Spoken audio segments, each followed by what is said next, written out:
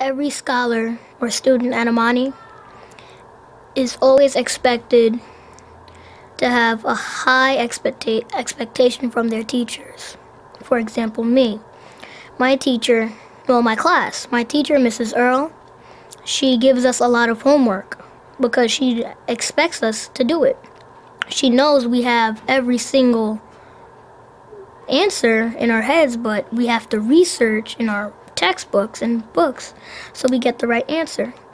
She knows we're, we're, that we're all capable of getting the right answer, and that's how I know I'm headed to college because Amani pushes us harder than I ever was pushed.